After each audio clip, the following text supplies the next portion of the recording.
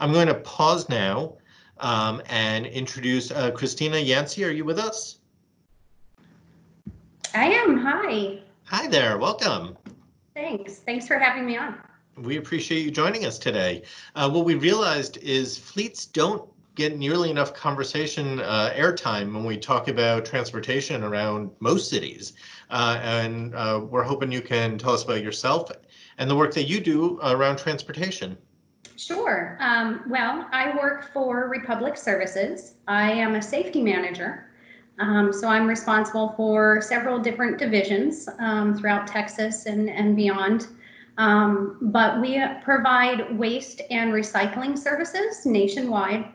Um, so here locally to the Houston area, we have about 18 different divisions. Um, most of those are fleet. Uh, we also, of course, run landfills, um, that type of thing. So um, we're truly invested in in the communities that we're in, and and you know have high expectations for our own safety, um, but ensuring the safety of of those you know that we work with and the areas that we're in. Um, can you give people uh, just a sense of uh, when you talk about a fleet? Talking about two trucks, 10,000 helicopters. yeah, so um, nationwide, we have about 19,000 vehicles in our fleet. Um, I don't know the specific number to Houston, but um, quite an extensive, you know, operation to keep everyone um, on the road and, uh, you know, making safe decisions every day. So this is a project partner that if we can can bring in as part of the conversation can really make a big difference. Absolutely, absolutely. Um, you know, we we work with many different companies and businesses, um, and then of course with our our residential communities.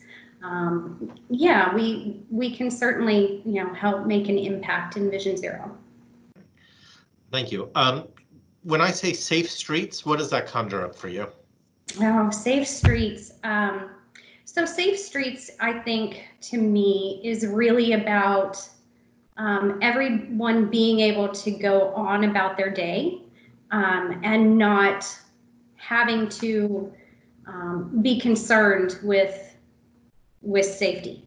Um, we have a saying um, at Republic that everyone goes home um, the way they came to work, and that's our true focus. And I think that's true for everyone um, in the Houston area, you know, whether we're going to the grocery store or we're going to work ourselves, whatever it is that takes us away from our home throughout the day, um, we should be able to get there and, and do what needs to be done and come back to our families and, um, you know, not have to be concerned with uh, safety incidents or crashes. Um, you know that that includes commuters. It includes um, working out and you know bicyclists and pedestrians and and just being able to be out and be active and away from your home um, without having to give safety a second thought.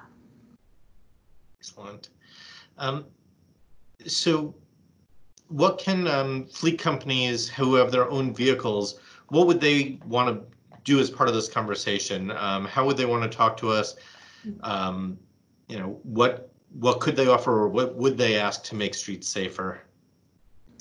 Um, well, I think as companies with with fleet vehicles, we really need to take responsibility for our own uh, drivers and our own employees. Um, you know, driver training is a huge piece of what we do um, as a company. It's um, we have programs that not just teach our drivers about the types of incidents that we have, but also how to make um, good decisions in in situations and how to best place their vehicle on the road. Um, we also have uh, training programs that you know and information that drivers can take home with them. Um, so, for example, I had a teenage daughter, and um, you know, new learning to drive and the information that we provide to our employees on you know just daily driving activities that's information and skills that can really be taken home you know defensive driving courses and, and having those types of programs um, i think um, you know, technology um, is a big aspect as well. Um, we have event recorders in our vehicles. Um, those event recorders um, actually, when there's a qualifying event, it'll back up a little bit in time so we get a holistic picture of what occurred. You know, it could be um, a fast brake movement, you know, a, a, a harsh braking or, a, you know, a, a quick turn, um, whatever the incident might be that allows us to to really sit down and analyze the bigger picture. Um, it connects to the cameras in our vehicles. Um, and then we can have coaching moments with our drivers and you know really uh, look into how things went and what went well in that situation, but also what maybe we could do the next time. So it provides us that opportunity. You know, um, the cameras also um, enable drivers. I, I, I, think cameras are a huge piece because, you know, we can have alarms and we can have those um, types, you know, flashing lights and that type of thing. But to really be able to see what's around your vehicle, um, you know, we train things like get out and look.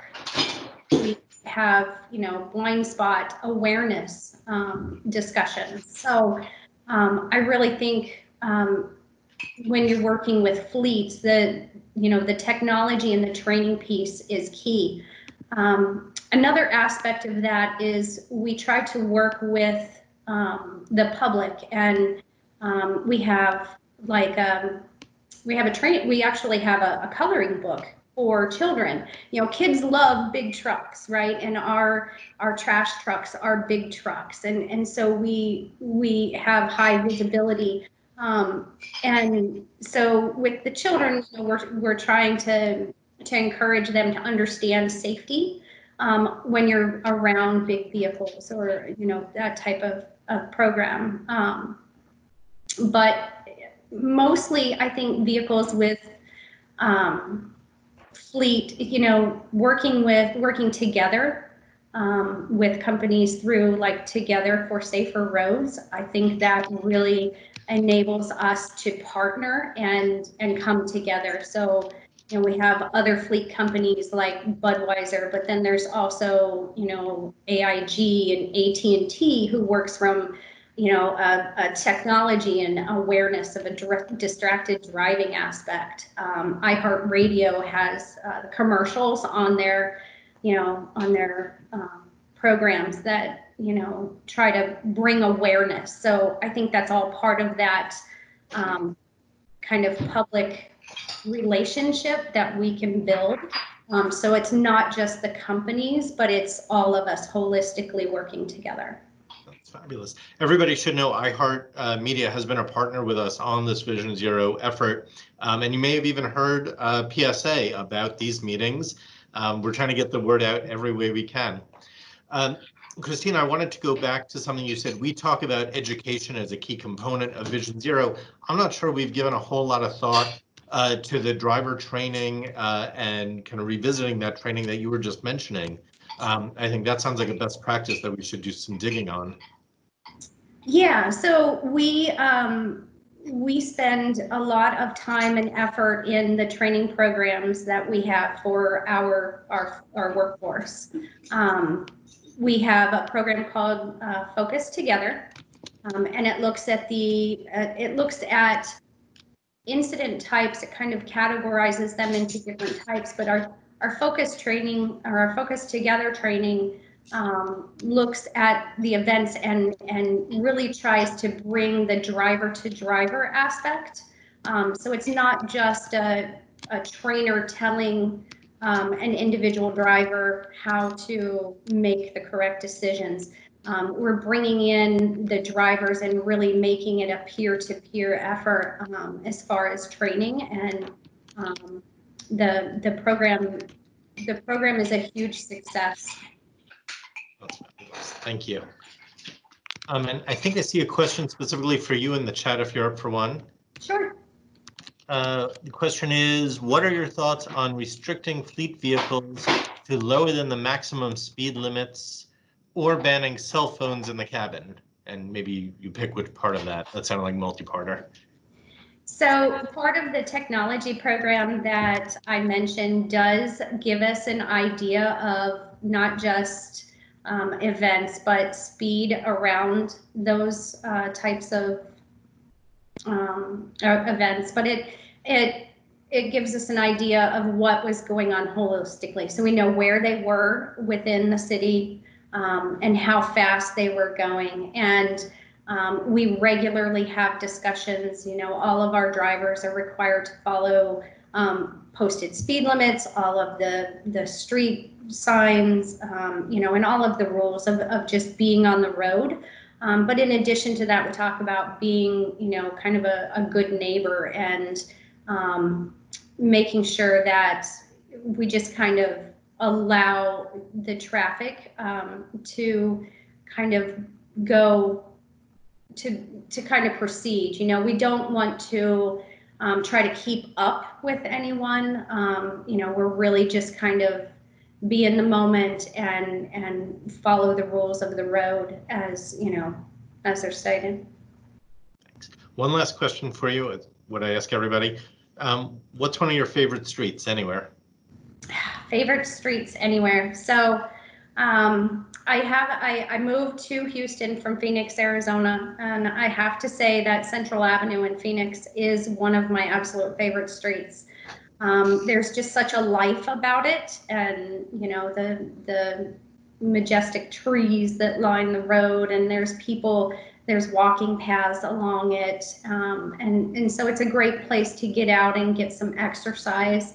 Um, if you come south on the road, you hit a lot of neat little funky restaurants that, um, you know, are a great place to, to relax and, and get the calories back that you burned off with the exercise. Um, but I did, um, I found a road here in Houston, um, Westheimer, that is actually, I guess, one of the longest roads in the city.